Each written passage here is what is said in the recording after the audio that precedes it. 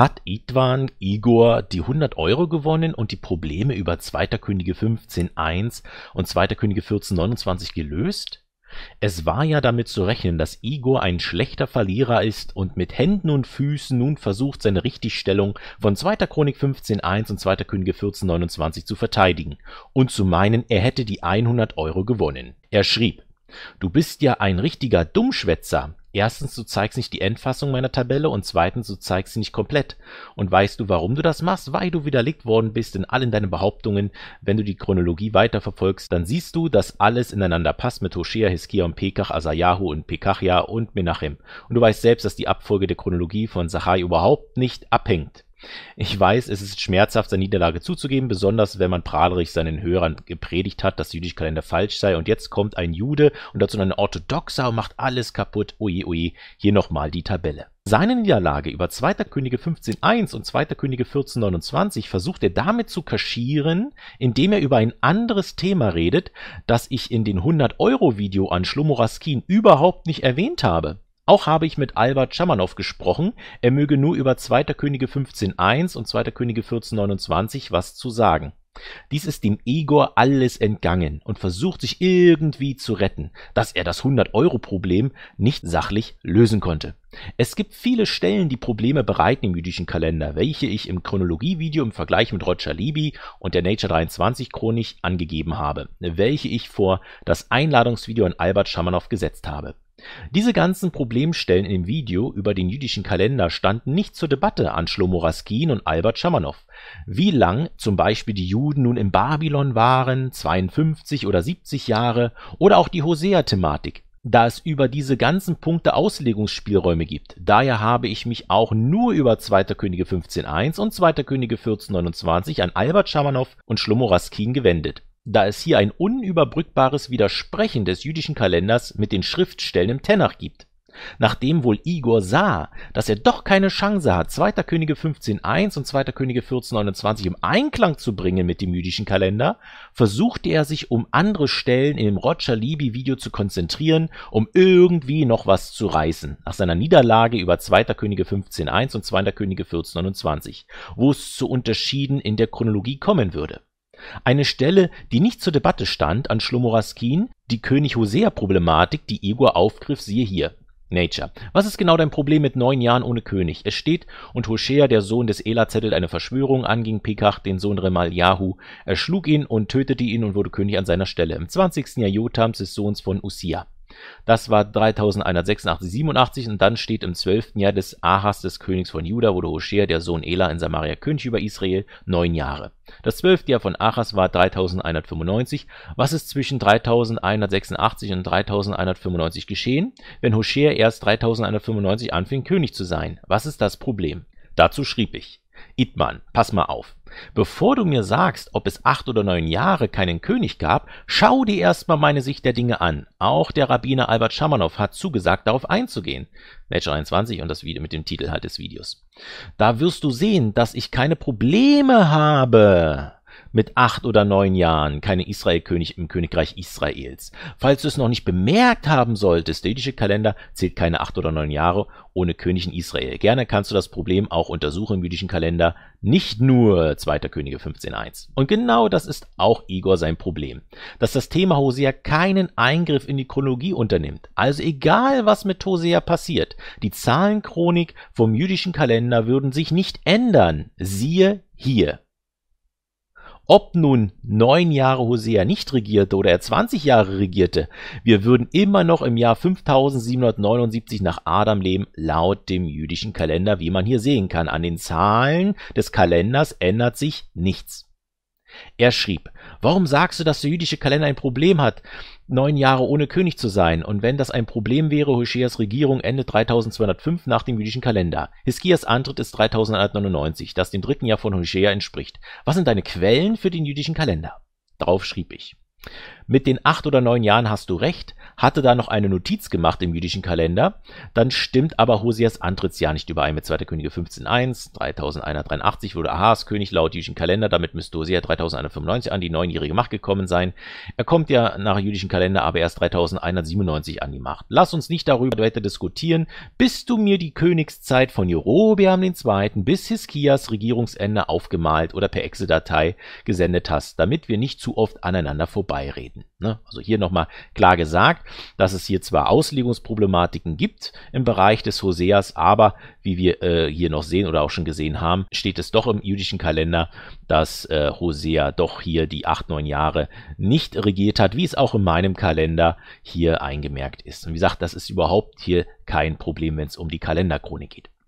Hier erklärte ich ihm, dass die neunjährige Zeit nicht wirklich die Chronologie verändert. In meinem jüdischen Kalender ist die Hosea-Thematik umstritten, aber dennoch steht auch im jüdischen Kalender, dass Hosea acht bis neun Jahre nicht regierte, was aus dem Kalender, den ich hier habe, doch hervorgeht. So ist die Hosea-Problematik nicht wirklich mehr ein Problem. Und dass es mir auch hier nicht ging um die 100 Euro, die ja Igor meint gewonnen zu haben, da er 2. Könige 15.1 und 2. Könige 14.29 gelöst hätte, was sich ja als großer Unsinn herausstellte. Nachdem ich das Video herausbrachte, schrieb er, Nature, schau hier, du kannst es einfach herunterladen. Das war die Endfassung. Er schickte mir also nochmal eine vierte Version der Tabelle zu. Diese Endfassung behebt nicht das Problem zu 2. Könige 15.1 und 2. Könige 14.29. Auch nicht in der Endfassung seiner Liste hier. Ich schrieb ihn hierauf. Hier geht es nicht um Hosea. Hier geht es um 2. Könige 15.1 und 2. Könige 14.29. Darüber hast du kein Wort verloren in deiner Erklärung zum jüdischen Kalender mit Fakten. Wenn du deinen Kopf benutzt hättest, würdest du sehen, dass selbst in der Nature 23 Kalenderberechnung Hosea acht Jahre nicht regiert hat und die Stelle kein Problem ist. Also mach ein Video, eine Predigt oder ein Abschluss-Excel-Tabelle, wo du 2. Könige 15.1 und 2. Könige 14.29 mit dem jüdischen Kalender im Einklang bringst. Kannst du das nicht schriftlich oder in der Tabelle, dann lass andere ran, das zu beweisen, dass es trotzdem passt mit 2. Könige 15.1 und 2. Könige 14.29. Da Igor wusste, dass er das Problem nicht lösen kann über 2. Könige 15.1 und 2. Könige 14.29 und verloren hatte in der 100-Euro-Sache, startete er ein Ablenkungsmanöver und konzentrierte sich nur noch auf die Hosea-Problematik, um bei seinen Zuschauern über sein Problem, um das es auch hier geht, 2. Könige 15.1 und 2. Könige 14.29, abzulenken. Er schrieb, Nature 23. Warum antwortest du mir hier? Gehört es auch zu deiner Methode, deine Zuhörer zu betrügen? Nature 23, du löschst meine Kommentare. Gut so, denn ein Narzisst darf nicht verlieren da ich Igors Taktik durchschaut habe, dass er versuchte abzulenken, um seinen Ruf zu retten, machte ich ihn weiterhin aufmerksam, dass er das Problem 2. Könige 15.1 und 2. Könige 14.29 nicht gelöst hätte. Mir war klar, dass ihm die Argumente ausgingen. So kam es dazu, dass er jetzt ablenken wollte und auch noch meinte, ich würde Kommentare löschen, was ich nicht tat. Ich schrieb ihn.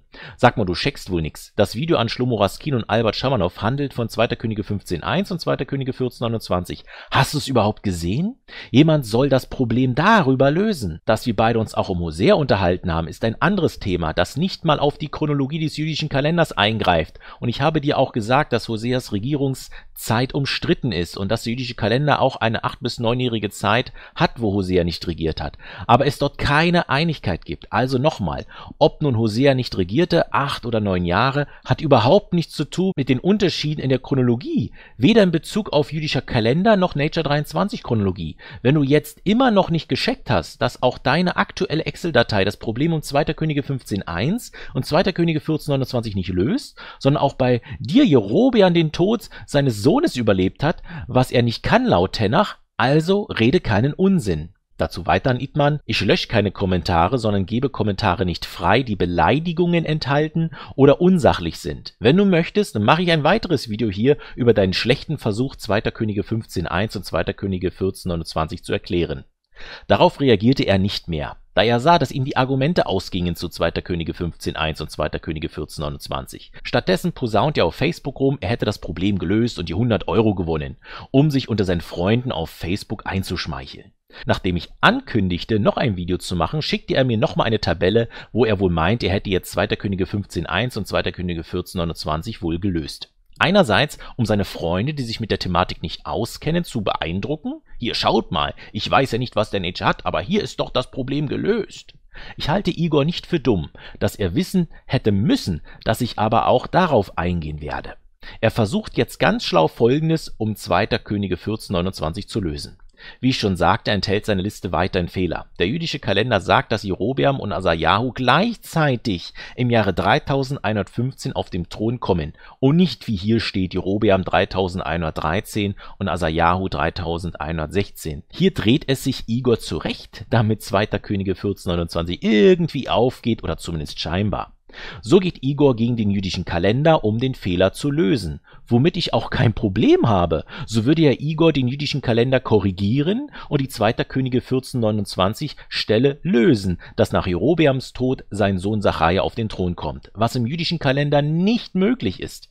Ich blende zuletzt nochmal den jüdischen Kalender ein, inklusive Hosea, damit auch Igor zufrieden ist. Daran müssen sich alle Juden orientieren, um 2. Könige 15.1 und 2. König 1429 zu lösen. Nicht Igors Kalender steht zur Debatte, sondern der jüdische Kalender, den wir hier sehen. Jerobeam und Asajahu kommen im Jahr 3015 auf den Thron. Asajahu zählt man wohl noch seinen Thronbesteigungs dazu, das ist kein Problem. Wohlgemerkt gibt es keinen Beweis oder Bibelstelle, wo steht, dass Asajahu, erstes Regierungsjahr Jerobeams, auf den Thron kommt, sondern in seinem 27. Regierungsjahr.